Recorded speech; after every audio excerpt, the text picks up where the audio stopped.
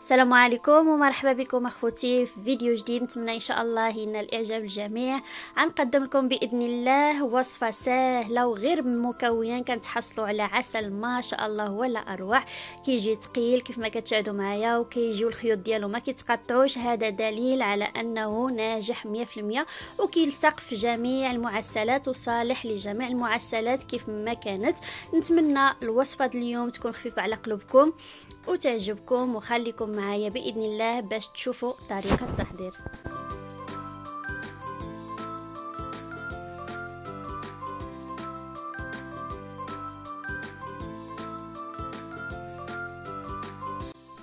ونبدأ على بركة الله. بالنسبة للمكونات صراحة أسهل منهم راه ما كاينش. غير بجوج مكونات كنتحصلوا على عسل. ما شاء الله ثقيل وخاطر كيجي صالح لجميع المعسلات كيف ما كانت. بالنسبة للمكونات أنا عندي القياس ديال آه زلافة. زلافة عملتها ما كبيرة ما صغيرة متوسطة. بنفس العبار كنعبروا حتى الماء. المهم بالنسبة للقياس أو بالنسبة للمكونات عندي خمسة زلايف متوسطين. كنعمل السكر حبيبات ومن بعد كنضيف بنفس القياس ديال زلافة خمسة زلايف ديال الماء. يعني نفس العبار ديال الزلافه اللي غادي نعبروا بها السكر كنعبروا بها الماء. يعني طريقة سهلة وبلا ما تحتاجوا الميزان أو بلا ما تحتاجوا حتى شي حاجة. كيف ما كانت عندكم يعني زلافة يا يا صغيرة يا كبيرة يا متوسطة. كل ما عملتوا زلافة كبيرة يعني كانت كبيرة في الحجم كل ما جاكم العسل يعني زايد يعني كيجيكم بكثرة. آه، بالنسبة للعبر ملي عملنا السكر وعملنا الماء ضفت لها جوج دوائر ديال الحامض واحد قطعة ديال القرفة وبالنسبة للقرنفل غنخليوه من بعد إن شاء الله حتى كنتحصلوا على العسل حتى كيوجدنا العسل. هنا كيف ما كتشوفوا معايا خوتي خليته على نار مهيلة حتى داب لي السكر. من بعد ما كيدوب لي على هذا الشكل هذا كنتحصلوا على لون ما شاء الله لون ذهبي. أنا حاولت نقرب لكم على هذا الشكل هذا.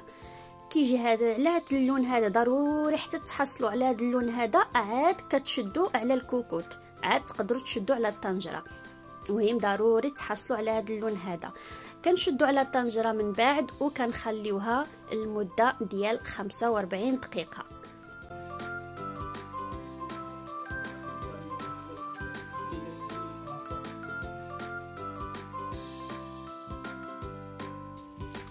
ومن بعد ما طبتنا العسل ودازت 45 دقيقة كنضيف جوج حبات ديال القرنفل وكنخليه على نار مهيلة. المدة ديال 20 دقيقة. يعني من بعد ما دازت 45 دقيقة كنزيد نخليه المدة ديال 20 دقيقة على نار مهيلة.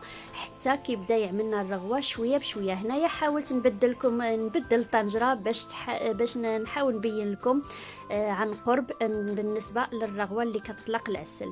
في حال هذا الشكل هذا. وكنتحصلوا على لون ما شاء الله. هنا باقي خصو واحد شوية باش يزيد ينضج يعني باش نتحصلوا على عسل أحسن وأحسن. بالنسبة للحامض باش تعرفوا العسل بدا يوجد لكم. كتحصلوا على اللون الحامض مبدل في مرة على هذا اللون هذا اللي حاولت نقرب لكم. ضروري ما الحامض كيتبدل له اللون ديالو. هنايا هانتوما كتشوف أخوتي بالنسبة للرغوة راه بدات كطلع لنا يعني العسل صافي راه وجدت. واخا كتشوفوا معايا هنايا عن قرب بالنسبة للعسل.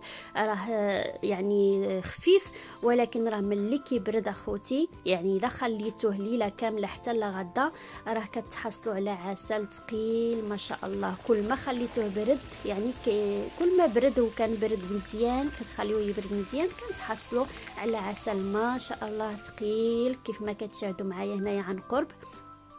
كيجي عسل خاطر وصالح لجميع المعسلات كيف ما كانت حضرتوها في بيتكم. كتصلح لكم هاد الطريقة ديال العسل. كيف ما تابعتوني في الفيديو طريقة سهلة وبمكونين غير بالماء والسكر. تحصلنا على عسل ما شاء الله ولا أروع. نتمنى خوتي طريقتي الخاصة تعجبكم وتنال اعجاب الجميع بالأخص المبتدئات اللي دائما آه، المبتدئين اللي دائما كيحاولوا يحاولوا يحضروا العسل وما كينجح لهم شيء أو لا كي كيما كيصدق لهم شي يعني في حال هذا الشكل هذا. نتمنى طريقتي تكون سهلة عليكم وإن شاء الله تحضروا في بيوتكم ويصدق لكم كيف ما حبيتوا بإذن الله. إخواني أخواتي ومتابعي الكرام نتمنى إن شاء الله آه، الفيديو ديالي يكون خفيف على قلوبكم ونتلاقاو إن شاء الله في فيديو جديد ووصفة جديدة. والسلام عليكم ورحمة الله. في أمان الله.